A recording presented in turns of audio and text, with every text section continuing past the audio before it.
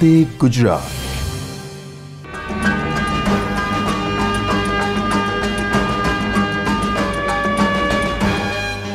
નમસ્કાર વિદ્યાર્થી મિત્રો. ફરી એકવાર આપનું સ્વાગત છે. આપણે ગયા લેક્ચરમાં પ્રત્યાવર્તી પ્રવાહો વિશે શરૂઆત કરી હતી. પ્રત્યાવર્તી પ્રવાહોની પ્રાથમિક માહિતી મેળવી અને ત્યારબાદ આપણે માત્ર અવરોધ ધરાવતા એવા એસી પરિપથ અંગે ચર્ચા કરી. મિત્રો, આની સાથે સાથે આપણે એસીની ઉપયોગિતા અંગેની પણ વાત કરી હતી અને છેલ્લે આપણે ચર્ચા કરી હતી ફેઝર અંગેની, ઘૂમતા સદીશો અંગેની કે ઘૂમતા સદીશોની જરૂરિયાત શા માટે પડી અને આ ઘૂમતા સદીશો કઈ રીતે આપણે એનો ઉપયોગ કરી શકીએ, કેવી રીતે દોરી શકીએ હા, કેવી રીતે દોરી શકીએ એની વાત કરી. ઉપયોગ હવે આજે શીખીશું આપણે. કેવી રીતે ઘૂમતા સદીશોનો ઉપયોગ કરીને વિદ્યુત સ્થિતિમાન કે પછી વિદ્યુત પ્રવાહોના સરવાળા બાદબાકી વગેરે કરી શકાય.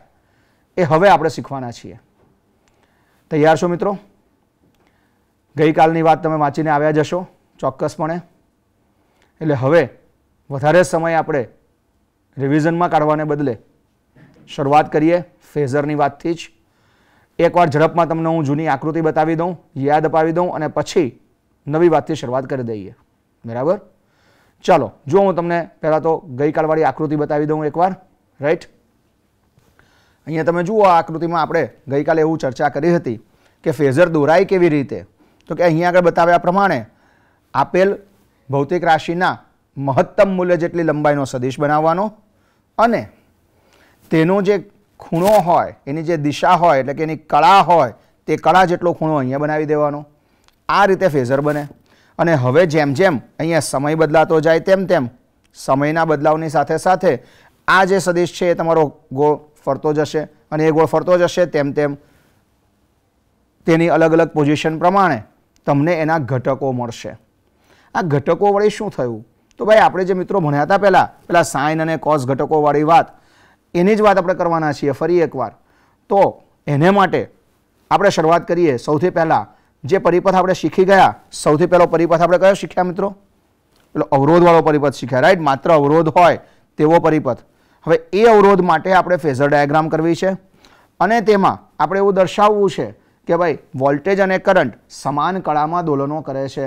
એ વોલ્ટેજ અને કરંટના સમાન કળાના દોલનો સાથે હું અહીંયા આગળ ચર્ચા કરવા માગું છું. તો જુઓ કેવી રીતે દોરીશું મિત્રો? આ આકૃતિ અથવા એની ફેઝર ડાયાગ્રામ દોરવી કેવી રીતે? જરા એ આપણે શીખવાનો પહેલાં પ્રયત્ન કરીએ. અને પછી એની આકૃતિ તમને બતાવીશું.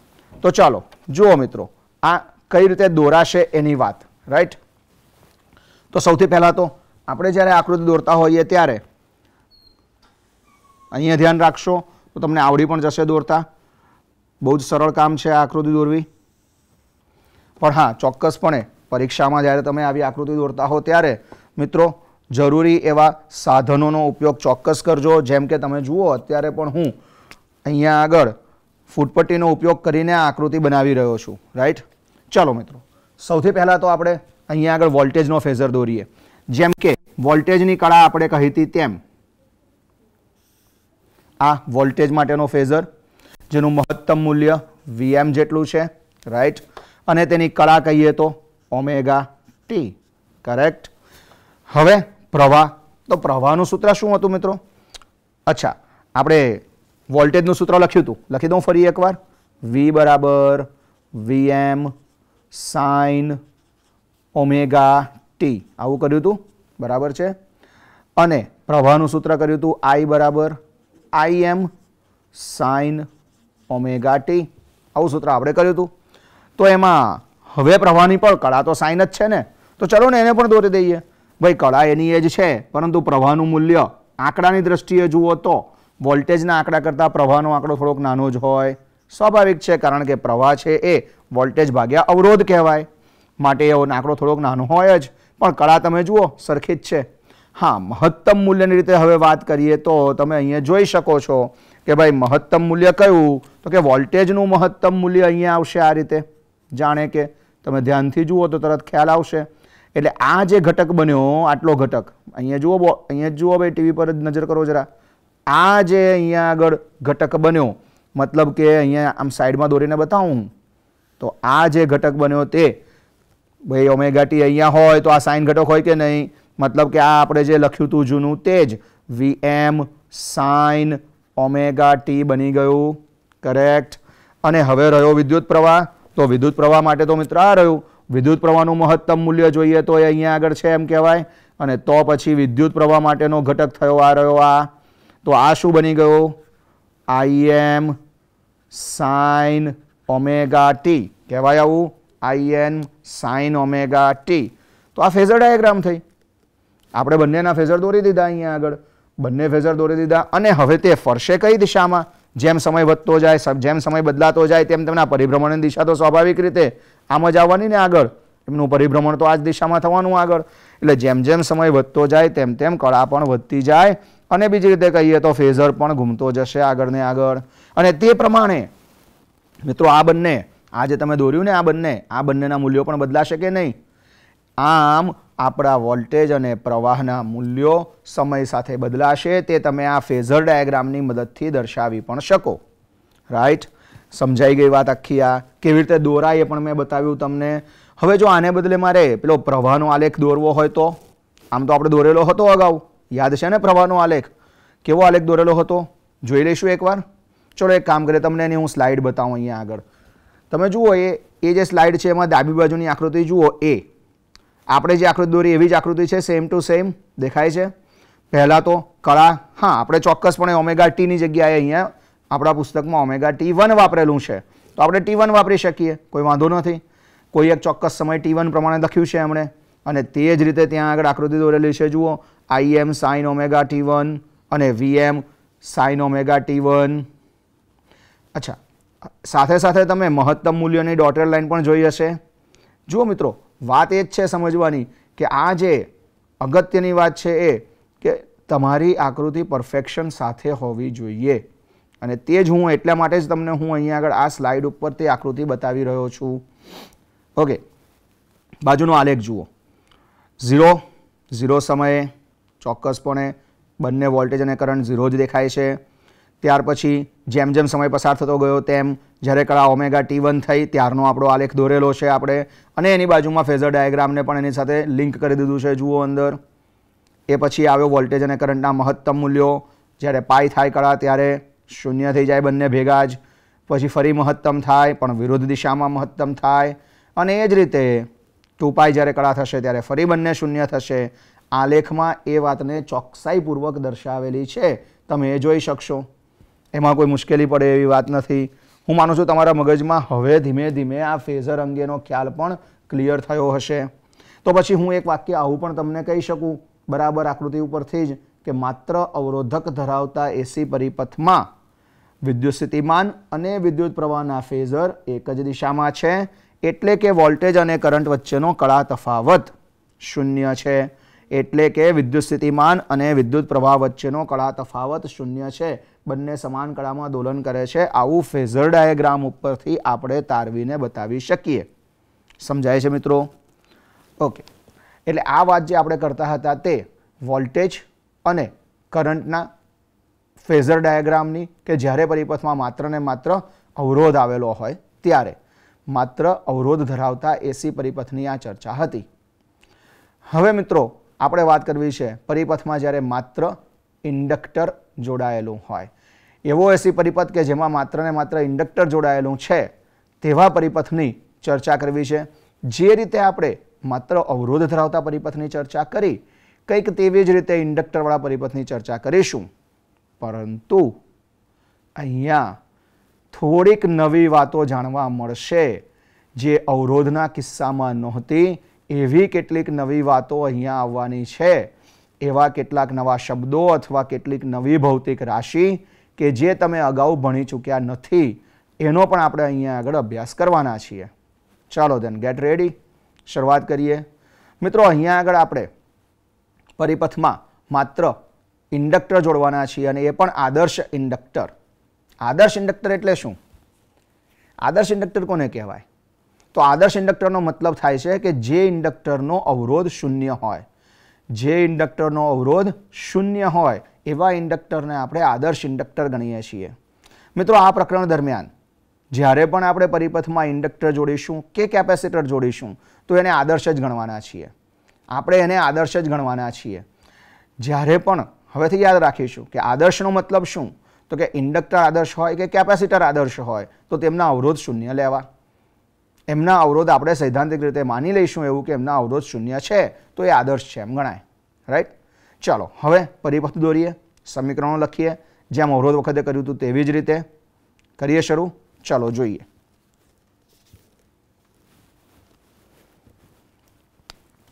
સૌથી પહેલાં તો પરિપથ દોરી દેવો જોઈએ મારે. લો, આપણે એસી સપ્લાય જોડવાનું, કાયમની માફક અને એની સાથે જોડવાનો માત્ર ને માત્ર ઇન્ડક્ટર. તમને ઇન્ડક્ટરની સંજ્ઞાથી પરિચય છે જ. આ મેં દોર્યું તે ઇન્ડક્ટર દોર્યું છે, તમે જાણો જ છો. આ આપણે સપ્લાય જોડ્યો છે, એસી સપ્લાય રાઈટ આ માત્ર ઇન્ડક્ટર ધરાવતા એસી પરિપથની આકૃતિ થઈ ગઈ. હવે અહીંયા આગળ આપણો સપ્લાય વોલ્ટેજ કેટલો છે મિત્રો? સપ્લાય આપણે કેટલા વોલ્ટેજ? એનું સમીકરણ શું લખ્યું હતું આપણે? તો આવું સમીકરણ લખતા હતા આપણે કે ભાઈ વી બરાબર V M sine omega T right આવું સૂત્ર આપણે લખતા હતા વી બરાબર VM sine omega T okay હવે પ્રવાહની વાત કરવાની છે. પણ એને માટે સીધે સીધું આપણે પ્રવાહનું સૂત્ર નહીં લખી શકીએ. આપણે શું કરીશું? એકદમ સરળ. આ જે પરિપથ છે આપણો, એ પરિપથ ઉપર કિર્ચોફનો નિયમ લગાડી દો. લૂપ તો છે જ, બંધગાળો છે જ. એ બંધગાળા ઉપર કિર્ચોફનો બીજો નિયમ લગાડીએ એટલે કેવી રીતે લાગી શકે? તો આનો વોલ્ટેજ અને આના બે છેડા વચ્ચેનો વિદ્યુતસ્થિતિમાનનો તફાવત આ બંનેને અહીંયા આપણે ઉપયોગમાં લઈ લેવાના છે. તો ચાલો લખીએ જોઈએ. ભાઈ, આ બેટરી છે આપણી, અથવા તો બેટરી તો ખરેખર ન કહેવું જોઈએ. આપણે શું વાત કરી હતી? આપણે એને એસી સપ્લાય બોલીશું, રાઈટ? ઓકે. એસી સપ્લાયના વોલ્ટેજને વી વડે દર્શાવું હું. અને આના બે છેડા વચ્ચેનો વિદ્યુતસ્થિતિમાનનો તફાવત યાદ કરવો જોઈએ. આપણે આવું લખતા હતા. Minus L DI by DT યાદ આવ્યું ભાઈ? આપણે પ્રેરણનું ચેપ્ટર ભણ્યા, છઠ્ઠું ચેપ્ટર ત્યારે આપણે આ રીતે લખવાની ટેવ પાડેલી જ છે અહીંયા આગળ.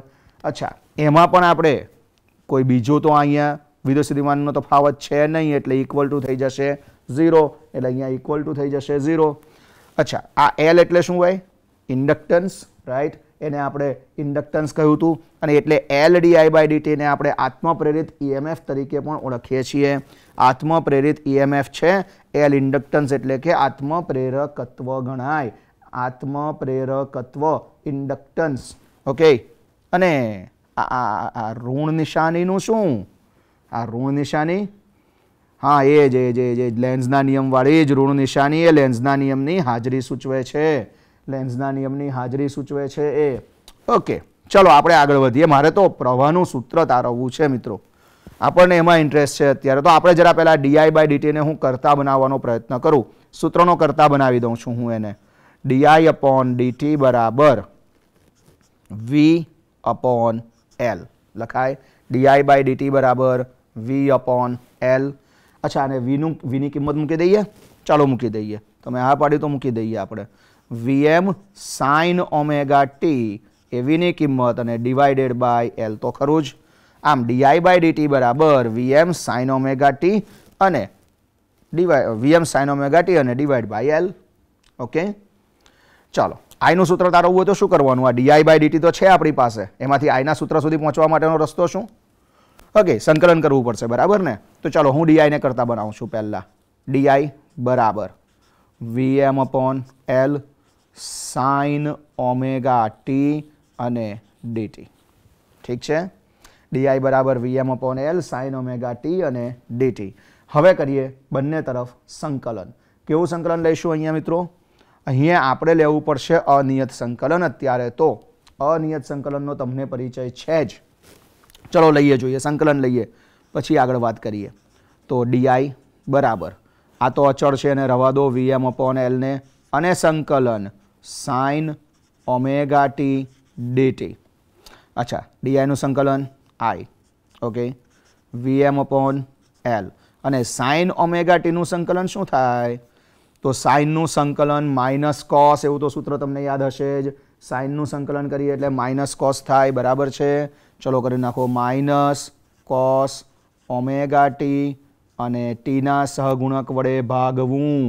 આવું પણ તમને યાદ હશે જ.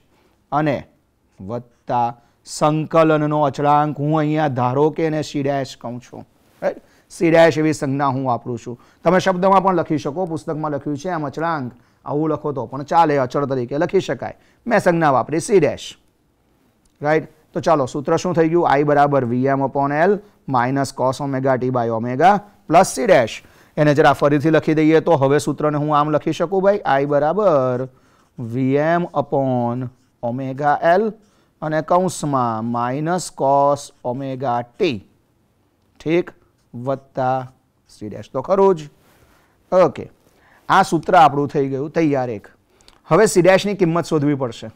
સી ડેશની કિંમત શોધવી પડશે. અનિયત સંકલન છે. પણ મિત્રો, આ સી ડેશ છે ને એ અચળ છે. આ સી ડેશ છે એ અચળ છે. સી ડેશ અચળ છે એટલે? તો ભાઈ, એ સમય ઉપર આધાર રાખતું નથી. સી ડેશનું મૂલ્ય સમયથી સ્વતંત્ર છે અને સમયથી સ્વતંત્ર છે એટલા માટે થઈને જ જો આપણે એક નાનકડું કામ કરીએ ને, અહીંયા ટી બરાબર ઝીરો મૂકી દઈએ તો. સમયથી તો સ્વતંત્ર છે અથવા વોલ્ટેજના સૂત્રમાં પણ મૂકી શકો તમે. કહેવાનો અર્થ એવો છે કે જો સી ડેશનું મૂલ્ય સમયથી સ્વતંત્ર હોય, તો એનો મતલબ કે તેનું મૂલ્ય તમે ઝીરો લઈ લો તો ચાલે. અહીંયા આગળ આપણે એને ઝીરો લઈ લઈએ તો ચાલે. રાઈટ તો ચલો હું એક બરાબર વાક્ય બોલું છું, એ બરાબર ધ્યાનથી સમજજો. હું જે વાક્ય બોલવા જઈ રહ્યો છું, એને બરાબર ધ્યાનથી સમજજો. શબ્દ સહ યાદ રાખવાનો પ્રયત્ન કરશો તો બહુ સારું. જો વાક્ય હું આમ કહું છું તમને કે સ્ત્રોતનું ઈએમએફ શૂન્યની આસપાસ સમિતીય રીતે દોલનો કરે છે. સ્ત્રોતનું ઈએમએફ છે એ શૂન્યની આસપાસ સમિતીય રીતે દોલનો કરે છે. એટલે કે એનાથી મળતો પ્રવાહ શૂન્યની આસપાસ સંમિતિ રીતે દોલન કરશે. સમજ પડે છે? સમમિતીયનો મતલબ બંને બાજુ જેટલું ધન થશે એટલું જ ઋણ થશે અને સમાન સમયગાળા દરમિયાન તે ધન અને ઋણ થશે. એટલે કે અહીંયા પ્રવાહ કે પ્રવાહનો સમયથી સ્વતંત્ર કોઈ ઘટક હોઈ શકે જ નહીં. કારણ કે તેમાં સંમિતતા છે એટલે પ્રવાહનો સમયથી સ્વતંત્ર કોઈ ઘટક મળવો શક્ય નથી. અને એટલે જ આ પેલો સંકલનનો અચળાંક છે અને આપણે શૂન્ય લેવાનો છે. એટલે જ આપણે સંકલનના અચળાંકને શૂન્ય લેવાનો છે. કરેક્ટ ક્લિયર વાત થઈ ગઈ હવે? હજુ કોઈ પ્રોબ્લેમ જો ફરી એકવાર નજર કરી લો, ફટાફટ. આપણે શું સ્ટેપ લીધા? તો કે ભાઈ, અહીંયાથી મેં પહેલાં ડીઆઈ બાય ડીટી મેં કરતા બનાવ્યો. વી બાય એલ કરી નાખ્યું. પછી વીની કિંમત મૂકી. V M sine omega T upon L ત્યાર પછી ડીઆઈ એટલે VM upon L sine omega T DT કર્યું. સંકલન લીધું. સંકલન બંને બાજુ લેવું પડે. આનું સંકલન આઈ કરી નાખ્યું. સાઇન ઓમેગા ટીનું સંકલન થાય minus cos omega T upon omega અને સી ડેશે અચળાંક લીધો આપણે. હવે વીએમ અપોન ઓમેગા એલ સૂત્ર તો લખી નાખ્યું, બરાબર છે. અને ચર્ચા કરી કે ભાઈ અહીંયા આગળ વોલ્ટેજ કરંટમાં દોલનોની સંમિતતા હોવાને કારણે જ સી ડેશને આપણે ઝીરો લઈ શકીએ છીએ. કમ્પ્લીટ આગળ સ્ટેપ લઈએ. ચલો, હવે આના પછી આ માઇનસ કોસ ઓમેગા ટી યાદ રાખજો મિત્રો, આપણે માઇનસ કોસ ઓમેગા ટી લખ્યું હતું. તો શું થશે? એ માઇનસ કોસ ઓમેગા ટી માટે જુઓ જોઈએ. માઇનસ કોસ ઓમેગા ટી માટે, ચલો એકવાર હું ડાયરેક્ટ લખી દઉં. સમજાય છે કે નહીં? જુઓ જોઈએ. એને હું આમ કહી શકું? Omega T minus pi by two વિચારવો જોઈએ, જરાક વિચારી જુઓ જોઈએ. માઇનસ કોસ ઓમેગા ટી બરાબર sine omega T minus pi by two આવું લખાય? હમ. કેવી રીતે લખી શકાય તો? કેવી રીતે લખ્યું હશે આપણે આ? થોડુંક વિચારી જુઓ તો તરત ખ્યાલ આવી જશે. એક કામ કરો. અહીંથી શરૂ કરો ને આનાથી શરૂ કરો. આમાં સમજ ના પડે તો આપણે આમ લખીએ. ચાલો ને એક કામ કરીએ. Sine pi by two minus omega T તો ખબર પડે? ઓકે. હવે એમાંથી હું માઇનસ નિશાની બહાર કાઢી દઉં તો? અથવા pi by two minus omega T એટલે થાય કોસ કારણ કે પાઈ બાય ટુ આપણે વિધેય બદલાય, તો મેં એનું કોસ ઓમેગા ટી કરી નાખ્યું. રાઈટ પરંતુ પરંતુ, જો હું આ pi by two minus omega ટીને બદલે આમ લખું કે omega T minus pi by two છે, તો તો મારે પહેલાં આમાંથી માઇનસને બહાર લેવું પડે. એટલે લખાય minus sine pi by two minus omega T અને પછી આનો જવાબ લખું હું કોસ ઓમેગા ટી થઈ ગયું? માઇનસ કોસ ઓમેગા ટીનો મતલબ sine omega T minus pi by two એ આવી રીતે થઈ શકે. એ આવી રીતે થઈ શકે, આ એની સમજૂતી આપી મેં. હવે તમારા મગજમાં કોઈ આમાં સંશય હોવો જોઈએ નહીં. ક્લિયર થઈ ગયું છે મગજમાં, બિલકુલ. તો પછી પ્રવાહનું સૂત્ર શું લખાય? પ્રવાહનું સૂત્ર આપણે લખવું હોય તો એ શું લખી શકાય હવે? કે પ્રવાહનું સૂત્ર આઈ બરાબર આઈ એમ પછી સાઇન અને આ દોર્યું આપણે અહીંયા તારવ્યું તે omega T minus pi by two I બરાબર I M sine omega T minus pi by two આ તમારી પાસે સૂત્ર થઈ ગયું. રેડી કેમ આઈએમ આઈએમ ક્યાંથી આવી ગયું ભાઈ આ આઈએમ ક્યાંથી આવ્યું? ઓકે લખીએ એને પણ લખીએ આપણે.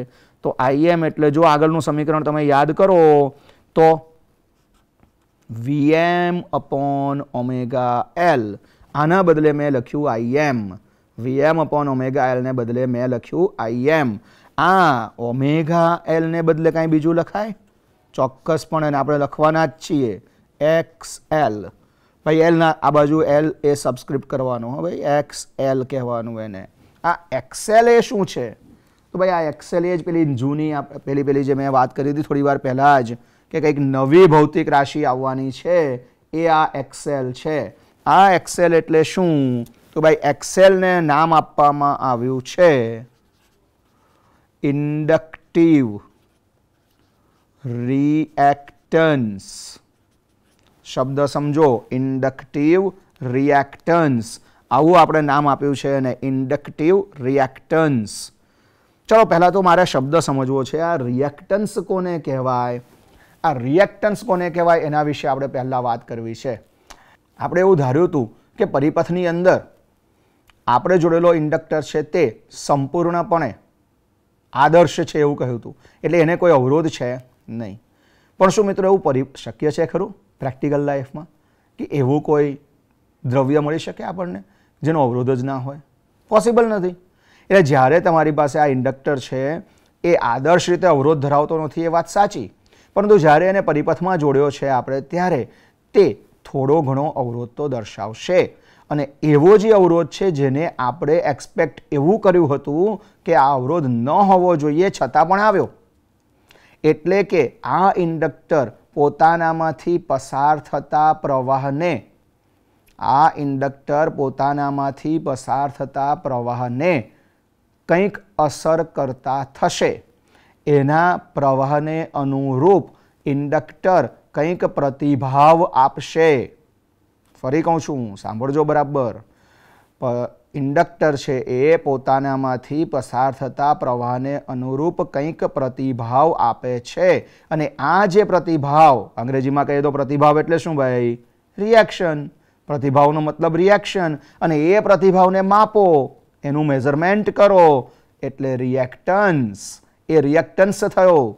એટલે કે ઇન્ડક્ટર પોતાનામાંથી પસાર થતા પ્રવાહને જે કંઈ પણ વિદ્યુતીય પ્રતિભાવ આપે તેને આપણે રિએક્ટન્સ તરીકે ઓળખીએ છીએ. અને આવું રિએક્ટન્સ જ્યારે ઇન્ડક્ટરે આપ્યું છે, તો એ ઇન્ડક્ટિવ રિએક્ટન્સ કહેવાય. ભવિષ્યમાં કેપેસિટરે આવશે જ. એને કેપેસિટિવ રિએક્ટન્સ કહીશું ત્યાં આગળ. અત્યારે તો ઇન્ડક્ટિવ રિએક્ટન્સ શબ્દ ખાસ ધ્યાન રાખો. આ ઇન્ડક્ટિવ રિએક્ટન્સ એટલે કે ઇન્ડક્ટરે પોતાનામાંથી પસાર થયેલા પ્રવાહને આપેલો પ્રતિભાવ. ઇન્ડક્ટિવ રિએક્ટન્સ છે. બેઝિકલી મૂળ મુદ્દે આ ઇન્ડક્ટિવ રિએક્ટન્સનું પરિમાણ તો અવરોધનું જ પરિમાણ છે. મૂળ મુદ્દે છે તો અવરોધનું જ પરિમાણ એનો એકમ પણ ઓમ જ આવે છે. એનો એકમ ઓમથી કાંઈ જુદો નથી. છે તો અવરોધ જ આ. પણ આ એવો અવરોધ છે કે જેને આપણે એવું ધાર્યું હતું કે ન હોવો જોઈએ પરિપથમાં. છતાં આવ્યો છે. નામ એટલે પાડ્યું છે આપણે એનું રિએક્ટન્સ ઇન્ડક્ટિવ રિએક્ટન્સ તરીકે આપણે એને ઓળખ્યું છે. એનું પરિમાણ અવરોધનું પરિમાણ છે. એની સંજ્ઞા આપણે એક્સેલ લીધી. એક્સેલ બરાબર ઓમેગા એલ હવે તમે સમજી શકો છો કે આ ઇન્ડક્ટિવ રિએક્ટન્સનું મૂલ્ય આધાર શેના પર રાખે? કઈ બાબતો ઉપર આધાર રાખશે? ઓફકોર્સ ચોક્કસપણે આપેલા ઇન્ડક્ટરમાં તેનું મૂલ્ય આવૃત્તિ ઉપર આધાર રાખે. ઓમેગા આવ્યું ત્યાં. ઓમેગા એટલે ટુ પાઈ ન્યૂ. એટલે ઓમેગા અથવા ન્યૂ ઉપર આધારિત છે એમ કહેવાય. એટલે જો તમે તમારા સપ્લાય વોલ્ટેજની આવૃત્તિમાં ફેરફાર કરો, તો ચોક્કસપણે રિએક્ટન્સમાં ફેરફાર થાય. આમ ઇન્ડક્ટિવ રિએક્ટન્સ છે એ આવૃત્તિના સમપ્રમાણમાં છે. સપ્લાય વોલ્ટેજની કે પ્રવાહની આવૃત્તિના તે સમપ્રમાણમાં હોય. ક્લિયર વાત? અચ્છા. હવે આ ઇન્ડક્ટર પરિપથમાં જોડવાથી ફરક શું પડ્યો? પરિપથને શું અસર થઈ? રિએક્ટન્સ આવ્યો? ફાઇન ઓકે સમજ પડી રિએક્ટન્સ આવ્યો, થોડો અવરોધ ઉમેરાયો હશે પરિપંથમાં, એવું માની લઈએ આપણે. ફરક ક્યાં પડશે? તો એ ફરકની ચર્ચા હવે કરવી છે. મિત્રો, તમે સમીકરણ યાદ કરો. વી બરાબર વીએમ સાઇન ઓમેગા ટી હતું અને પ્રવાહનું સૂત્ર શું આવ્યું? આઈ બરાબર I M sine omega T minus pi by two સૂત્ર સમજાય છે. પહેલામાં સાઇન ઓમેગા ટી હતું વોલ્ટેજમાં અને પ્રવાહમાં sine omega T minus pi by two આવ્યું. મતલબ કે તમારા વોલ્ટેજ અને પ્રવાહની કળામાં તફાવત આવ્યો. જ્યારે એકલો અવરોધ હતો ત્યારે બંનેની કળા ઓમેગા ટી હતી. અને હવે ઓમેગા ટીને બદલે omega T minus pi by two થયું. એટલે કે વોલ્ટેજ અને પ્રવાહ હવે સમાન કળામાં દોલન કરવાના નથી. હવે વોલ્ટેજ અને પ્રવાહ સમાન કળામાં દોલનો ન જ કરે. એટલે કે હવે વોલ્ટેજ અને કરંટ વચ્ચે કળા તફાવત આવ્યો. કેટલો કળા તફાવત આવ્યો? કેટલો આવ્યો? ઓમેગા ટી છે એકની કળા અને બીજાની omega T minus pi by two તો સ્પષ્ટ થઈ ગયું ને આ તો? પાઈ બાય ટુ જેટલો કળા તફાવત આવ્યો. એકની કળા ઓમેગા ટી છે, બીજાની omega T minus pi by two છે, તો તફાવત પાઈ બાય ટુ થયો. અચ્છા. વોલ્ટેજની કળા ઓમેગા ટી છે. અને પ્રવાહની omega T minus pi by ટુનો મતલબ કે પ્રવાહ છે એ વોલ્ટેજ કરતાં કળામાં પાઈ બાય ટુ જેટલો પાછળ છે. માઇનસ પાઈ બાય ટુ એટલે પાછળ છે. વોલ્ટેજ કરતાં પ્રવાહ કળામાં પાઈ બાય ટુ પાછળ છે. એટલે કે જ્યારે વોલ્ટેજ શૂન્ય મહત્તમ એમ ફેરફાર પામતો જશે, ત્યારે કરંટ એની સાથે સાથે નહીં, પરંતુ કળામાં પાઈ બાય ટુ પાછળ રહીને ફેરફાર અનુભવતો જશે. જેવા ફેરફાર જેવા ફેરફાર વોલ્ટેજ અનુભવશે, તેવા જ ફેરફારો પ્રવાહમાં આવશે. પરંતુ પાઈ બાય ટુ જેટલા કળા તફાવતે જ. બરાબર છે? આ વાત મગજમાં ખાસ ઉતારજો. પરફેક્ટલી ઉતારી લેજો. હવે હું એની આકૃતિ તમને બતાવું અને ફેઝરની પણ ચર્ચા કરવી છે. બે વસ્તુ ભેગી કરવાની છે. આલેખ, ફેઝર ડાયાગ્રામ, બંને. દોરીએ. મગજમાં વાત એક ક્લિયર થઈ ગઈ પહેલાં કે ભાઈ ઓમેગા ટી અને omega T minus pi by two એટલે પાઈ બાય ટુનો કળા તફાવત છે. બીજી રીતે કહીએ તો પ્રવાહ વોલ્ટેજ કરતાં કળામાં પાઈ બાય ટુ જેટલો પાછળ છે. આટલું પાક્કું ને? ચોક્કસ ને? ઓકે, ચાલો, હવે હું આકૃતિ બતાવું છું તમને. જુઓ આકૃતિ. આપણે આ જે સૂત્રો લખ્યા હતા તે આવી ગયા અહીંયા આગળ બધા. આ સૂત્રોમાં આપણે લખ્યું હતું એ પ્રમાણે પ્રવાહના સૂત્રમાં આ એક્સેલને પણ આપણે દાખલ કરી દીધું. તો હવે આગળ લખું છું હું ફરી એકવાર. વી બરાબર વી એમ સાઇન ઓમેગા અને પ્રવાહનું સૂત્ર. હવે આઈએમ નથી લખતો હમણાં. મિત્રો, હવે આઈએમને બદલે હું લખી રાખું છું. વીએમ અપોન એક્સેલ જ અને sine omega T minus pi by two આ બે સૂત્રો આપણી પાસે છે. બરાબર છે? આટલી વાત પાકી થઈ ગઈ. હવે એનો ફેઝર ડાયાગ્રામ મારે દોરવો છે. કેવી રીતે દોરીશું? જુઓ ત્યારે, હું શરૂઆત કરું છું એ દોરવા માટેની, ઓકે? તો સૌથી પહેલાં તો આપણે અક્ષો દોરી દેવી પડશે. ચલો ત્યારે અક્ષો દોરવાથી જ શરૂઆત કરું છું હું વાતની. તમે જોઈ લો એને માટે પહેલાં તો આપણી શિરોલંબ અને સમક્ષ બંને અક્ષોને હું બતાવી દઉં છું અહીંયા આગળ. ઓકે? હવે આપણે ફેઝર્સ દોરવાના છે હવે. તો સૌથી પહેલાં વોલ્ટેજનો ફેઝર દોરીએ. ચલો, વોલ્ટેજનો ફેઝર. ક્યાં આગળ દોરાશે મિત્રો વોલ્ટેજનો ફેઝર? તો એની કળા કેટલી છે? ઓમેગા ટી, અથવા બુક પ્રમાણે હવે ભાઈ ઓમેગા ટી વન. અહીંયા પણ ટી વન લખી દઈએ, ચાલો. તો ઓમેગા ટી વન કળા સાથે હું દોરું છું એને. આ રહ્યો પહેલો મારા વોલ્ટેજનો ફેઝર. અને એની જે કળા છે તે કેટલી? Omega T one. Okay, done, complete. સમજ પડી? હવે અહીંયા આગળ પણ જો હું પેલું ડોટેડ લાઇનવાળી વાત કરું તો, અહીંયા જો આપણે પેલી ડોટેડ લાઇનવાળી વાત કરીએ તો, ક્યાં છે આ મહત્તમ મૂલ્ય દોરવાનું ને આપણે આમ? આમાં મહત્તમ મૂલ્ય દોરીને બતાવવું જોઈએ ને આપણે આ રીતે. તો એ મહત્તમ મૂલ્ય દર્શાવવા માટે થઈને, તો ભાઈ કયો ઘટક બનશે આ? ઓમેગા ટી વન આ બાજુ હોય તો કયો ઘટક થાય? આ થાય સાઇન ઘટક થાય, એટલે કે આને નામ પાડી દેવાનું શું? VM sine omega T one થઈ ગયું આ મૂલ્ય પાક્કું જોજો, બહુ ઇન્ટરેસ્ટિંગ વાત છે.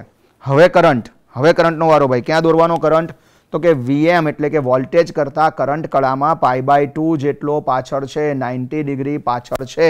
મતલબ શું થયો એનો એ નાઇન્ટી ડિગ્રી પાછળ છેનો મતલબ કે અહીંયા આગળ મારે કરંટના આમ કરંટના ફેઝરને દોરવાનો, જે વોલ્ટેજના ફેઝર સાથે નેવું ડિગ્રીના કળા તફાવતે હોય.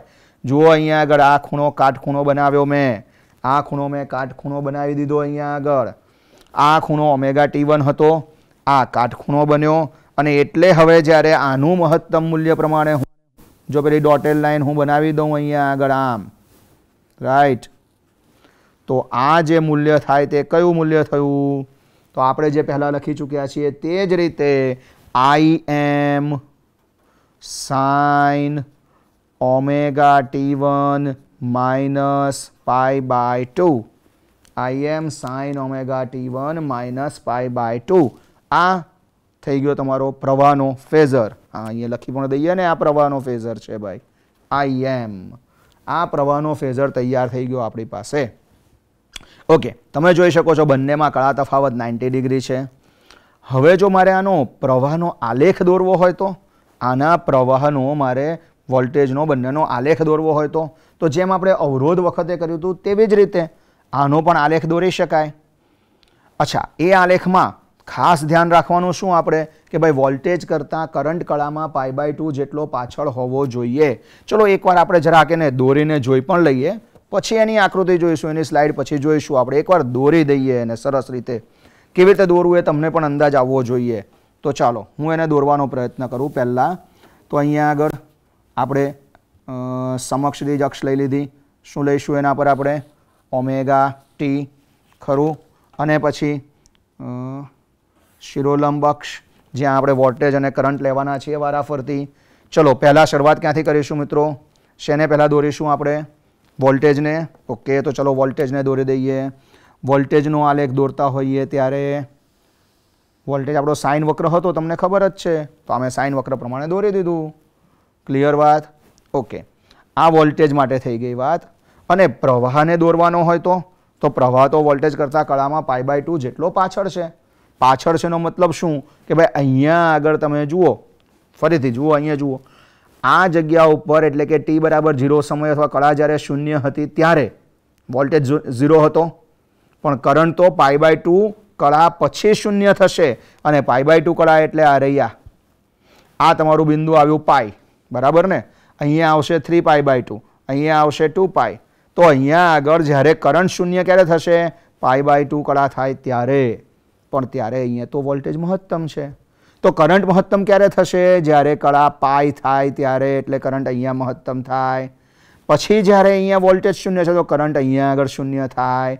અહીંયા જ્યારે વોલ્ટેજ મહત્તમ છે, તો કરંટ અહીંયા મહત્તમ થાય. આમ તમારે જ્યારે આ આલેખ બનાવો ત્યારે આ રીતે આલેખ બનશે. જુઓ ધ્યાનથી, તરત સમજાઈ જ જશે આ તો. તમારા વોલ્ટેજ અને કરંટના આલેખને હું આ પ્રમાણે દોરી શકું. આમ જશે આલેખ. સમજાય છે મિત્રો? ઓકે. પણ આ ભાગ બાકી રહ્યો ને તો આવવા દો અહીંયા. આમ આવશે. આ તમારો કરંટનો આલેખ થયો. જુઓ ફરી એકવાર. આ જે આલેખ છે તમારો તે વિદ્યુત સ્થિતિમાન માટેનો આલેખ છે અને જે બીજો આલેખ છે તે કરંટ માટેનો આલેખ છે. તમે જોઈ શકો છો એ બંને વચ્ચેનો કળા તફાવત પાઈ બાય ટુ જેટલો રહેલો છે. આકૃતિ દોરતી વખતે આ રીતે તમારે થોડુંક વ્યવસ્થિત ધ્યાન રાખીને આકૃતિ દોરવી. વોલ્ટેજ અને કરંટના મૂલ્યો સાથેની આ જે મેં આકૃતિ દોરી છે તે રીતે થોડી વ્યવસ્થિત રીતે આકૃતિ દોરવી. અહીંયા કળા પાઈ આવશે, અહીંયા કળા ટુ પાઈ આવશે અહીંયા પાઈ બાય ટુ આવે તો અહીંયા three pi by two okay okay આ રીતે તમે એને દોરી શકો. હવે મારે છે ને પેલી હમણાં આપણે જે આગળ આકૃતિ જોઈ હતી ને એવી રીતે ફેઝરવાળી આકૃતિ અને આ પ્રવાહવાળી. આ રહી, આપણે પેલી ફેઝરવાળી આકૃતિ હતી, આ રહી આ. અને પ્રવાહવાળી આકૃતિ છે જ આપણી પાસે. આ રહી આ પ્રવાહવાળી આકૃતિ. આ બંનેને મારે એક જ સાથે દોરવી છે, એક જ સાથે જોવી છે. તો એને માટે આપણે જરાક સ્લાઇડ ઉપર નજર કરીએ. સ્લાઇડ ઉપર તમે નજર કરશો તો તમે આ જે આકૃતિ છે, અવરોધવાળી આકૃતિ છે, આ રહી. હવે જે આકૃતિ આવી એના ઉપર નજર કરો આપ. જુઓ. VM sine omega T one દેખાય છે. IM sine omega T one minus pi by two દેખાય છે. ફાઇન ત્યાં આગળ આપણે જે આકૃતિ દોરી, એવી જ આકૃતિ છે કે નહીં? પહેલાં તો એ જોઈ લો. ઓમેગા ટી વનવાળો વોલ્ટેજ છે અને નીચે પાઈ બાય ટુના ખૂણે પ્રવાહ દોરી નાખ્યો છે. જેની કિંમત બતાવી છે I M sine omega T one minus pi by two અને હવે એને બાજુમાં આલેખ સાથે સાંકળી લીધું છે. જુઓ આપણે જે આલેખો દોર્યા હતા એવો જ આલેખ. પણ કઈ રીતે દોરાય મેં તમને સમજાવ્યું. મેં તમને બતાવ્યું કે આલેખ કેવી રીતે દોરવો જોઈએ. એના માટે થઈને એ સમજૂતી મેં તમને આપેલી હતી. આ આકૃતિ છે, બુકવાળી આકૃતિ છે આપણી. આ પ્રમાણે તમારે દોરવાની છે. ધ્યાનથી દોરજો. તમે જુઓ, અહીંયા આગળ તરત ખ્યાલ પણ આવવો જોઈએ. અહીંયા આગળ આ જે વોલ્ટેજનું મહત્તમ મૂલ્ય છે, આ રહ્યું મેં પોઈન્ટર મૂક્યું છે એના પર નજર કરો. આ જે વોલ્ટેજનું મહત્તમ મૂલ્ય છે, એ મહત્તમ મૂલ્ય સામે આલેખમાં આલેખમાં ટી સમયે તે વોલ્ટેજનું મહત્તમ મૂલ્ય કેટલું હતું તે દર્શાવે છે. એટલે એમાં ભૂલ ન પડે, એ ખાસ ધ્યાન રાખજો ભાઈ. બરાબર? હું માનું છું હવે તમને આ આકૃતિ સ્પષ્ટ થઈ ચૂકી છે. રાઈટ ઓકે, હવે આપણે વાત કરવી છે પાવર અંગેની. મિત્રો આ જે આપણે આલેખો જોયા. આપણે ફેઝર ડાયાગ્રામ જોઈ, સૂત્ર પણ તારવ્યું. તમે એક વાત માર્ક કરી કે આપણે જે સૂત્ર લખ્યા હતા, પ્રવાહનું સૂત્ર લખ્યું હતું આઈ બરાબર I M sine omega T minus pi by two પણ sine omega T minus pi by two એટલે તો માઇનસ કોસ ઓમેગા ટી થાય ને. એટલે હું એમ કહી દઉં તો ચાલે કે આઈ બરાબર minus I M cos omega T ચાલે. તો પછી એકનો આલેખ, જે વોલ્ટેજ હતો, એનો આલેખ સાઇન ઓમેગા વાળો આવે. તો પ્રવાહનો આલેખ માઇનસ કોસ ઓમેગા વાળો આવે. ખ્યાલ આવે છે? માઇનસ કોસ ઓમેગા વક્ર કેવો હોય? હવે યાદ કરો પેલો આલેખ. ચોપડી લઈને બેઠા હો તો ચોપડીમાં નજર કરો કે માઇનસ કોસ વક્ર કેવી રીતે આવે? એક્ઝેક્ટલી એ જ આપણે દોરેલું છે ત્યાં આગળ. આપણે એક્ઝેક્ટલી એ જ વાત દોરેલી છે. ઓકે ચાલો. ઠીક છે. હવે વાત કરવી છે પાવરની આ પરિપથમાં પાવરનું શું? પાવર વ્યય થાય, ન થાય, કેટલો પાવર હોય, આ બધી ચર્ચાઓ કરવા જવું છે મારે. કરીએ શરૂ? સૂત્ર લખીએ એનું. સૂત્ર લખીને પાવરને સમજવાનો પ્રયત્ન કરીએ. ચાલો, જુઓ ત્યારે. આ આપણો આલેખ હમણાં જ મેં કહ્યું તે કોસ વક્રવાળો રાઈટ માઇનસ કોસ વક્ર અને આ આપણો ધન સાઇન વક્ર. હવે આગળ વધું છું હું. પાવર તરફ જઈએ આપણે. તો ચાલો ભાઈ, પાવર કેવી રીતે મળી શકે? પાવરનું સૂત્ર છે આપણી પાસે આઈ ઇન ટુ વી ચલો લખી નાખીએ. પાવર બરાબર આઈ વી બંનેના સૂત્રો લખીએ તો? આઈ અને વીના સૂત્રો લખીએ તો? હું મિત્રો હવે બંનેને કોસના સૂત્રો સાથે જ લખી દઉં છું ડાયરેક્ટ તો ભાઈ વીનું સૂત્ર પહેલાં લખી દઉં કે V M sine omega T અને આઈનું સૂત્ર આઈ એમ અચ્છા, ચલો સાઇન લખી જ દઉં એકવાર. Sine omega T minus pi by two okay? હવે એમાંથી આપણે સૂત્ર બનાવી નાખ્યું હતું કઈ રીતે? તો કે આઈ એમ વી એમ આ સાઇન ઓમેગા ટી એમનો એમ અને આને આપણે કોસ ઓમેગા ટી કીધું તો માઇનસ સાઇન સાથે. ખરું ને?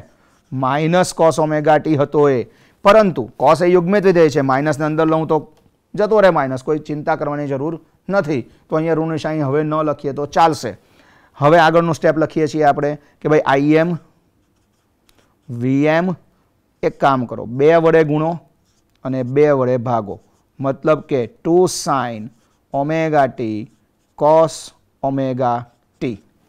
બે વડે ભાગી પણ નાખ્યું, બે વડે ગુણી પણ નાખ્યું. તો આ પદ શું થઈ ગયું? સાઇન ટુ થીટા બની ગયું જાણે? સાઇન ટુ ઓમેગા ટી વાળું સૂત્ર લઈ લેવાય. ઓકે, તો પછી એને સૂત્ર હું આગળ લઉં છું, રાઈટ? ચલો, એને સૂત્રને આપણે આગળ લખીએ હવે. તો શું લખીશું ભાઈ આપણે? હવે નવું સૂત્ર. તો ભાઈ પાવર બરાબર વી એમ અપોન ટુ અને કૌંસમાં આવ્યું સાઇન ટુ ઓમેગા ટી કૌંસમાં આવ્યું સાઇન ટુ ઓમેગા ટી હવે મારે સરેરાશ પાવર શોધવો હોય તો સરેરાશ પાવર કેવી રીતે શોધાય? હમણાં જ આપણે આગળના જ એપિસોડમાં એ ભણ્યા હતા. આગળના લેક્ચરમાં આપણે એની ચર્ચા કરી હતી કે સરેરાશ શોધવો એનો મતલબ કે સંકલન લેવાનું. ચલો કરીએ, એવું આપણે સંજ્ઞા પર પરથી ચાલુ કરીએ ભાઈ. સરેરાશ પાવર. મહત્તમ મૂલ્યોમાં તો કાંઈ સરેરાશ લેવાની જરૂર નહીં. Sine two omega T. પણ સાઇન તો ત્રિકોણમિતીય વિધેય છે અને સમય પર આધારિત છે. તો એક આવર્તકાળ પર લીધેલું એવું, એનું સંકલન અથવા સરેરાશ એની કેટલી થાય? શૂન્ય થાય. મતલબ કે પાવર કેટલો થઈ ગયો ભાઈ પરિપથમાં? પરિપથમાં પાવર શૂન્ય થઈ ગયો. ઓ આ તો આશ્ચર્યજનક વાત થઈ ગઈ ભાઈ. પરિપથનો પાવર શૂન્ય થઈ ગયો એનો મતલબ શું થયો? ભાઈ, એક પૂર્ણ ચક્ર દરમિયાન માત્ર ઇન્ડક્ટર ધરાવતા પરિપથમાં પાવર શૂન્ય થઈ જાય, સરેરાશ પાવરનું મૂલ્ય શૂન્ય થઈ જાય. આનો મતલબ તો એવો થયો કે પરિપથમાં પ્રવાહ વહે, વાંધો નહીં. વોલ્ટેજ છે, વાંધો નહીં. પણ પાવર શૂન્ય. આમાં પરિપથમાં પ્રવાહ વહેતો હોવા છતાં પણ, પરિપથમાં વિદ્યુત સ્થિતિમાનનો તફાવત હોવા છતાં પણ પાવર તો ઝીરો છે, પાવરનું મૂલ્ય શૂન્ય છે. આ જરા તમારા માટે નવી વાત થઈ. પરંતુ આ જ સાચી વાત છે, સાચી વાત એ જ છે કે જો માત્ર ઇન્ડક્ટર ધરાવતો પરિપથ આપણે વાપરીએ તો એ પરિપથમાં વ્યય થતા પાવરનું મૂલ્ય શૂન્ય હોય છે. શા માટે એવું એની ચર્ચા કરીશું?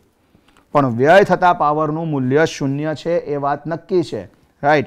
વ્યય થતો પાવર શૂન્ય છે. કેમ? એ સમજવા માટે આપણે આ આકૃતિઓનો ઉપયોગ કરવાના છીએ. જો કે, હમણાં તો પહેલાં એક વાત સમજવાનો પ્રયત્ન કરો. પહેલાં તો એક વાત એ સમજવાનો પ્રયત્ન કરો કે અહીંયા પાવર શૂન્ય છે એનો અર્થ શું? જો મિત્રો, અહીંયા કહેવા એવું માંગે છે કે કોઈ એક ચક્ર દરમિયાન પાવર શૂન્ય છે, સરેરાશ પાવર શૂન્ય છે એનો મતલબ કે અહીંયા પ્રવાહ વહન છતાં પણ પાવર લોસ થતો નથી. કેમ નથી થતો? તમને પહેલાં હું ઓરલી જરાક સમજાવું. પછી આકૃતિની વાત કરીએ આપણે. બને છે એવું મિત્રો આમાં કે જ્યારે પ્રવાહનું ધન અને ઋણ અર્ચક્રો બે અર્ચક્રો છે તમે જાણો જ છો. એમાંથી જ્યારે પ્રવાહનું મૂલ્ય વધતું હોય, પછી એ ધનરચક્ર હોય કે ઋણચક્ર હોય, જ્યારે પ્રવાહનું મૂલ્ય વધતું હોય, ત્યારે ઇન્ડક્ટરમાંથી વહેતો અથવા ઇન્ડક્ટરમાંથી વહેતા પ્રવાહનું મૂલ્ય વધે છે માટે ત્યાં સંગ્રહાતી ઉર્જાનું મૂલ્ય પણ વધે. ઇન્ડક્ટરમાં સંગ્રહાતી ઊર્જા હાફ એલઆઈ સ્ક્વેર હતી ને? હા, એ ઉર્જાનો મૂલ્યમાં વધારો થતો જાય. અને એનો અર્થ એમ થયો કે ઇન્ડક્ટર પાવર સપ્લાયમાંથી ઊર્જા પોતાની પાસે લેતો જાય છે. ઇન્ડક્ટર પાવર સપ્લાયમાંથી ઊર્જા ખેંચે છે એમ આપણે કહીએ છીએ. અને પરિણામે ઇન્ડક્ટરમાં ઉર્જાનો સંગ્રહ થયો. પણ જેવો પ્રવાહ ઘટવાની શરૂઆત થાય. જેવા પ્રવાહમાં ઘટાડો થાય કે તે સમયે ઇન્ડક્ટરે મેળવેલ આ ઊર્જા તે પાછી સપ્લાયને આપી દે છે. તે સ્ત્રોતને પાછી આપી દે છે. ફરીથી, જ્યારે પ્રવાહ વધતો હોય, ત્યારે ઇન્ડક્ટર એટલે કે પરિપથમાં ઇન્ડક્ટર સ્ત્રોતમાંથી ઊર્જા મેળવશે અને ઘટતા પ્રવાહ સમયે તે ઊર્જા પાછી આપી દેશે. આ પ્રક્રિયા એક ચક્રમાં ટી બાય ફોર સમય દરમિયાન થાય. કારણ કે તમે આલેખ યાદ કરો, તો ટી બાય ફોર સમય દરમિયાન પ્રવાહ વધે છે ટી બાય ફોર સમય દરમિયાન પ્રવાહ ઘટે છે, ફરી ટી બાય ફોર સમય વધશે, ફરી ટી બાય ફોર સમય ઘટશે. આમ એક સમગ્ર ચક્ર દરમિયાન, આમ એક સમગ્ર ચક્ર દરમિયાન પ્રવાહનું મૂલ્ય કેટલી વાર? ટી બાય ટુ સમય દરમિયાન વધતું હશે. અને ટી બાય ટુ સમય દરમિયાન ઘટતું હશે. હા, ચોક્કસ. સતત નથી વધવાનું, સતત નથી ઘટવાનું. ટી બાય ફોર સમય વધે ટી બાય ફોર સમય ઘટે. અને તે રીતે તે પાવર સ્ત્રોતમાંથી લેશે અને પાછો આપશે. રાઈટ આ વાતને હવે હું આકૃતિની મદદથી જો સમજાવું તમને, તો કેવી રીતે એની ચર્ચા કરી શકાય? જેમ કે મારે એવું કહેવું છે પહેલાં તો, કે ભાઈ, અહીંયા પાવરનો લોસ થયો નહીં, વ્યય થયો નહીં. કેમ? કારણ કે જેટલો સમય એણે પાવર સ્ત્રોતમાંથી લીધો એટલા સમય એણે પાછો પણ આપી દીધો? નહીં નફો, નહીં નુકસાન. જેટલું સ્વીકાર્યું, એટલું પાછું ચૂકવી પણ દીધું. એટલે પાવર લોસ થયો નહીં, સાદી ભાષામાં આવું કહેવાય. એ જ વાતને આપણી પુસ્તકવાળી આકૃતિઓની મદદથી સમજવી હોય, તો એ સમજાવવાનું હવે આપણે પ્રયત્ન કરીએ. જુઓ, હવે સ્લાઇડમાં હું તમને બતાવું છું પહેલી આકૃતિ. જુઓ એને માટે.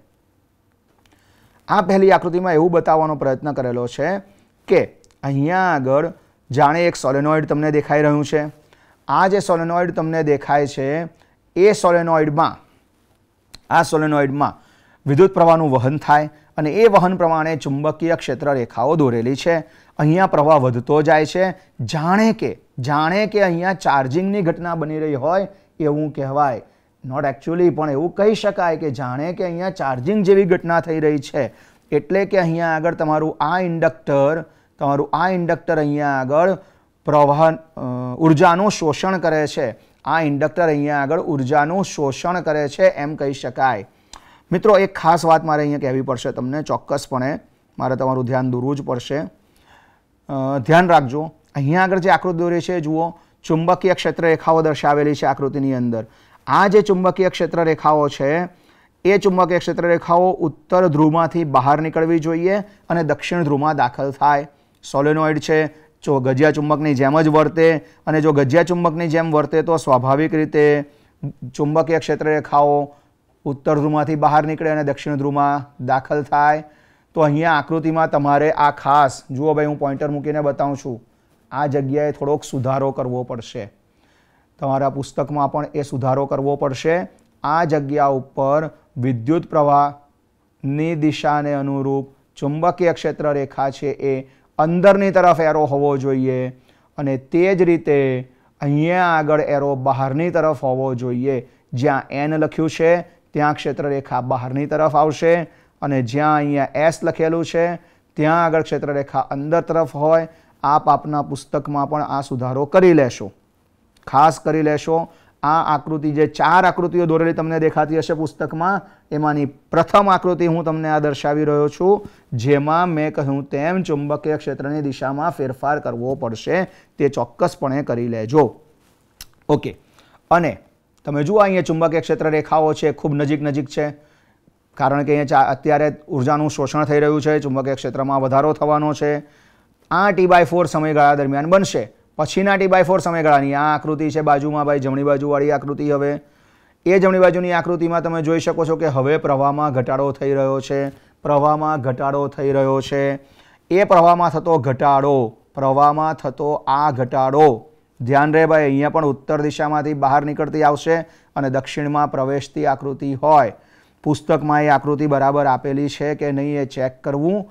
આ રીતે જ હોય ઉત્તર દિશામાંથી, ઉત્તર ધ્રુવમાંથી પ્રવાહ ઉત્તર દિશામાં ચુંબકીય ક્ષેત્ર રેખા અંદર પ્રવેશે અને દક્ષિણ દિશામાં તે બહારની દક્ષિણ ધ્રુવમાંથી બહારની તરફ જાય. ઓકે ફાઇન હા, અહીંયા તમે જુઓ તો ચુંબકીય ક્ષેત્ર રેખાઓ વચ્ચેનું અંતર પહેલાં કરતાં વધારે છે. જેમ દર્શાવે છે કે અત્યારે પ્રવાહ ઘટી રહ્યો છે, ચુંબકીય ક્ષેત્રમાં પણ ઘટાડો થઈ રહ્યો છે. એ જ વાતને તમે અહીંયા નીચે હવે આવો, આ બાજુ આલેખમાં જુઓ આ. આ આલેખમાં તમે જુઓ તો, ક્યાંથી શરૂ કરું ભાઈ? ઝીરોથી શરૂ કરીને વન. આ બિંદુઓ લખ્યા છે, જોઈ લો ભાઈ, પહેલાં તો અહીંયા. આ વન ટુ થ્રી ફોર દેખાયા? દેખાયા વન ટુ થ્રી ફોર ઉપર આલેખની ઉપરના ભાગમાં લખેલા છે. હા. ઝીરોથી વન માટેની આ આકૃતિ છે, ઉપરવાળી, ડાબી બાજુની આકૃતિ ઝીરોથી વનવાળી અને જે જમણી બાજુ છે વનથી ટુ વચ્ચેની આકૃતિ દોરેલી છે, મિત્રો. બરાબર, ધ્યાન રહે. ફરી એકવાર બોલું છું ઝીરોથી વન દરમિયાનની આકૃતિ માટેનો પ્રવાહ જુઓ વોલ્ટેજ નહીં. પ્રવાહ એટલે જે ડોટેડ લાઇન છે, એની નીચેની જે સળંગ લાઇન છે, તે જે ડોટેડ લાઇનમાં ફ્લક્સ લખ્યું છે એની નીચેની લાઇનમાં તમે જુઓ તો પ્રવાહ લખેલો દેખાય છે. આ રહ્યો આ મેં પોઈન્ટર મૂક્યું. આ જે લાઇન છે તે એ પ્રવાહ દર્શાવે છે, જે એમ દર્શાવે છે અહીંયા આગળ કે ઝીરોથી વન દરમિયાન પ્રવાહ વધે છે અને વનથી ટુ દરમિયાન પ્રવાહ ઘટે છે. ઝીરોથી વન દરમિયાન પ્રવાહ વધ્યો વનથી ટુ દરમિયાન ઘટ્યો. તો ઝીરોથી વન દરમિયાન તમારા ઇન્ડક્ટરે ઊર્જા ગ્રહણ કરી, સ્ત્રોતમાંથી ઊર્જા મેળવી, શોષણ કરી અને વનથી ટુ દરમિયાન જ્યારે પ્રવાહ ઘટી રહ્યો છે, ત્યારે તેનું કોર, એનો ગર્ભ, એનું ચુંબકત્વ ગુમાવતો જાય છે. અને ચુંબકત્વ ગુમાવે છે એટલે કે ડીમેગ્નેટાઇઝેશન થઈ રહ્યું છે. ડીમેગ્નેટાઇઝેશન થાય એટલે અહીંયા આગળ વોલ્ટેજ પ્રવાહનો ગુણાકાર પી આપણે ઋણ મળશે. તમે એ પણ ત્યાં જોઈ શકો છો. પાવરને માટેની નિશાનીમાં અહીંયા ધન પાવર છે. તો અહીંયા ઋણ મળ્યો છે આપણને એમ લાગે. એ ખાસ ધ્યાન રાખવું અહીંયા નિશાની ઋણ થઈ એટલે કે અહીંયા ઊર્જા સ્ત્રોતને પાછી આપી દેવામાં આવી. પતી ગઈ વાત. હવે ફરી એકવાર જુઓ અહીંયા આગળ, ત્રીજું બેથી ત્રણની વચ્ચેની વાત. હવે ભાઈ આ ઉપરવાળી આકૃતિ હું ફરીથી નથી બતાવવાનો હવે ખાલી આ આલેખ જ જોવાનો છે. બાકીની બે આકૃતિ તમારા પુસ્તકમાં છે, તમે એમાં જોઈ શકશો અને સમજ પડવી જ જોઈએ. હા, ચલો, હવે અહીંયા આગળ જે આકૃતિ દેખાઈ રહી છે, એમાં બેથી ત્રણ વચ્ચેનો આલેખ જુઓ. તો બેથી ત્રણ વચ્ચે જે આલેખ છે, એમાં પ્રવાહ તમારો વધે તો છે, પણ ઋણ બાજુએ વધે છે. પ્રવાહ વધે છે, પણ ઋણ બાજુએ. કંઈ વાંધો નહીં. વધે છે ને, આપણે એટલું જ મહત્ત્વનું છે ભાઈ. પ્રવાહની દિશા ઋણ બાજુએ વધે છે એનો મતલબ એમ થયો કે દિશા ઉલટાવાઈ ગઈ છે. બીજો કોઈ ફરક નથી. સમઘડી હતી કદાચ તો હવે વિષમઘડી થઈ છે. અને વિષમઘડી હતી તો સમઘડી થઈ છે. બીજું કંઈ નવું નથી આમાં. તો ટૂંકમાં પ્રવાહ અહીંયા વધી રહ્યો છે, એ દેખાય છે. અને તે માટે થઈને તમારા પાવરનું મૂલ્ય કેવું આવવું જોઈએ? ધન? જો આ રહ્યું આ રહ્યું, ધન જ છે. અને જ્યારે વોલ્ટ પ્રવાહમાં ઘટાડો થાય ત્યારે પાવર ઋણ થઈ જાય. એ પણ દેખાય છે તમને. તો ટૂંકમાં, અહીંયા આગળ પહેલાં ઝીરોથી વન એટલે ટી બાય ફોર સમયગાળો. જ્યારે પ્રવાહ વધે અને ઊર્જા વધે, એટલે કે ઉર્જાનું શોષણ થાય પછીનો સમયગાળો એટલે વનથી ટુની વચ્ચેનો સમયગાળો, જ્યારે પ્રવાહ ઘટે એટલે ઊર્જા સ્ત્રોતને પાછી મળે. ફરી સમય બેથી ત્રણ, જ્યારે પ્રવાહ વધ્યો એટલે ઊર્જા સ્ત્રોતમાંથી ખેંચવામાં આવી અને ત્રણથી ચારમાં પ્રવાહ ઘટ્યો એટલે ઊર્જા સ્ત્રોતને પાછી આપી દીધી. ઇન શોર્ટ અહીંયા આગળ અહીંયા આગળ તમે એક પૂર્ણ ચક્ર દરમિયાન જેટલો ઉર્જાનો આઈ મીન ઊર્જા મેળવી એટલી જ ઊર્જા તમે પાછી પણ આપી દીધી. એટલે ખર્ચ કરેલી ઊર્જા અથવા વ્યય થયેલો પાવર તદ્દન શૂન્ય થયો. પાવર અહીંયા આગળ શૂન્ય થઈ ગયો. આવો જે પાવર શૂન્ય થઈ ગયેલો પરિપથ છે કે જે પરિપથમાં જે પરિપથમાં પ્રવાહ હાજર છે, વોલ્ટેજ હાજર છે, પણ પાવર નથી, તો તેવા પ્રવાહને આપણે નામ આપ્યું છે વોટ લેસ પ્રવાહ. આ વખતે પરિપથમાં વહેતા પ્રવાહનું નામ પાડવામાં આવ્યું છે વોટલેસ પ્રવાહ. આને આપણે વોટલેસ પ્રવાહ તરીકે ઓળખીશું. પાવર નથી, વોટ નથી પાવર વોટ વોટનો, વોટ છે પાવરનો એકમ છે ભાઈ. એ પાવર નથી એટલે વોટલેસ પ્રવાહ. એ વોટલેસ પ્રવાહ એટલે નામ પાડવામાં આવ્યું છે. મિત્રો, ખાસ ધ્યાન રાખજો. આમ, આ એક બહુ જ સારી વાત થઈ ગઈ આપણે માટે કે અહીંયા પરિપથમાં તમે પાવરનો વ્યય કર્યા સિવાય પ્રવાહ અને વોલ્ટેજનું નિયંત્રણ કરવાના છો. પાવરનો વ્યય કર્યા સિવાય વોલ્ટેજ અને પ્રવાહનું નિયંત્રણ આપણે કરી શકીએ છીએ.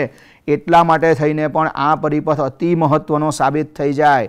આ માત્ર ઇન્ડક્ટર ધરાવતો પરિપથ એટલા માટે વધારે મહત્વનો સાબિત થાય, કારણ કે અહીંયા આગળ પાવરનો વ્યય કર્યા સિવાય આપણે કરંટને એટલે કે પ્રવાહને નિયંત્રિત કરી શકીએ છીએ, એને સંમિત કરી શકીએ છીએ. આ વાત ખાસ યાદ રાખવી. રાઈટ વોટલેસ પ્રવાહ શબ્દ પણ હવે યાદ રહી જવો જોઈએ. આ વાત આપણે જે કરી તે માત્ર ઇન્ડક્ટર ધરાવતા પરિપથ અંગેની વાત હતી. માત્ર ઇન્ડક્ટર ધરાવતો એસી પરિપથ એના અંગેની આપણે વાત કરી. વોલ્ટેજ અને પ્રવાહના સૂત્રો જોયા. સાથે સાથે આપણે પાવરનું સૂત્ર પણ જોયું. આમ તો શૂન્ય જ સાબિત કર્યું આપણે પાવર. અને તે કેમ શૂન્ય છે તેની પણ આપણે ચર્ચા કરી.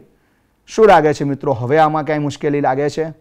આવડે એવું છે? બરાબર છે? પરફેક્ટ છે? કે હજુ કોઈ મુશ્કેલી પડશે? નહીં ને? તો ચાલો ને એક કામ કરીએ.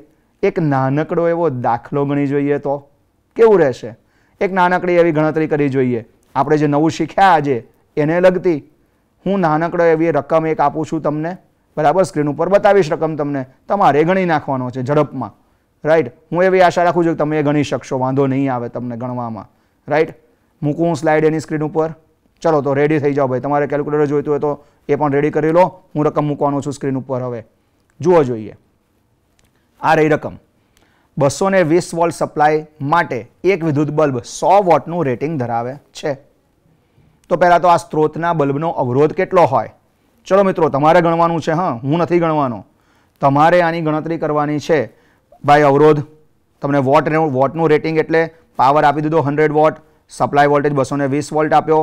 યાદ રહે મિત્રો, ખાસ ખાસ ખાસ યાદ રહે આ કે જ્યારે તમને કોઈ પણ દાખલો રકમ આપી હોય એમાં એવું લખ્યું નથી અહીંયા, જેમ કે અહીંયા પણ કે ભાઈ બસો વીસ વોલ્ટ સપ્લાય એવું લખ્યું છે, એવું નથી લખ્યું કે મહત્તમ છે, ન્યૂનતમ છે, કાંઈ ચોખવટ નથી. તો હંમેશા યાદ રહે કે આ આરએમએસ મૂલ્ય છે. આ આરએમએસ મૂલ્ય છે વોલ્ટેજનું આવું યાદ રાખવું. સિવાય કે સ્પષ્ટતા કરી હોય રકમમાં કે વોલ્ટેજનું મહત્તમ મૂલ્ય છે એમ, તો જ એને વીએમ ગણવું, નહીતર આને આરએમએસ લેવું. તો ચલો ભાઈ, અવરોધનું સૂત્ર શું? અવરોધનું સૂત્ર શું? આર બરાબર V square by P. Power બરાબર વી સ્ક્વેર અપોન આર. હમણાં જ કર્યું હતું આપણે માત્ર અવરોધવાળો પરિપથ. તો આર બરાબર વી સ્ક્વેર અપોન પી. ચલો ચલો, જલ્દી ગણતરી કરો ભાઈ. જલ્દી ગણતરી કરો. મારે કરવાની જરૂર નથી ને. મૂકું સૂત્ર લખીને બતાવું એકવાર. ચાલો એવું કરીએ, આપણે લખીને બતાવીએ સૂત્ર એકવાર. જુઓ જોઈએ અહીંયા આગળ સૂત્ર લખું છું હું. પાવરનું સૂત્ર વી સ્ક્વેર અપોન આર એટલે કે આર બરાબર વી સ્ક્વેર બાય પી કિંમતો તમને આપેલી જ છે મેં. કેટલી કેટલી કિંમત હતી ભાઈ? બસો ને વીસ વોલ્ટનો સપ્લાય હતો. તો આ બસો વીસનો વર્ગ અને પાવર સો વોટ હતો. ચલો ગણી નાખો ભાઈ, શું જવાબ આવશે? મારે ના ગણવાનું હોય આવું. તમારે જ ગણવું પડે હવે તો. પાવર ગણ્યો. અચ્છા, મારે પેલા વોલ્ટેજનું મહત્તમ મૂલ્ય પણ જોઈએ છે. મહત્તમ વોલ્ટેજ વીએમનું સૂત્ર શું હોય? કેમ? વી રૂટ ટુ નહીં?